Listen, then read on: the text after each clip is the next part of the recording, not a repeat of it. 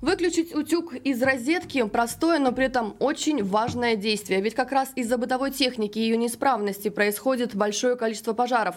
Зимой пальма первенства в этой сфере у обогревателей. Возможно, именно желание согреться и послужило причиной пожара в Иркутске.